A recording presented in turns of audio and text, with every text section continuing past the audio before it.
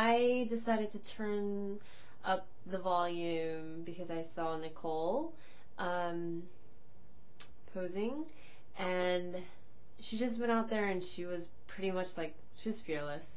And I mean, as much as I hate to say it, because honestly, I mean, I'm keeping my eye on her. Really, at this point, I just want to be called. You know, I'm taking every challenge, every photo shoot, everything that I do, like step by step. I'm not thinking about going abroad. I mean, I would love to go abroad, and that's like really where I want to be, what I want to do, you know, at least in this competition, but I'm taking everything step by step, and I'm taking them slowly.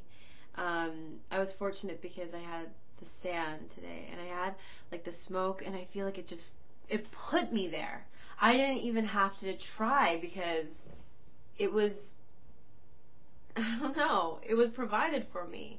Like the drama in the photo was provided for me. I didn't have to do anything. I just everything was I don't know, it's just like everything just aligned. It was so much fun.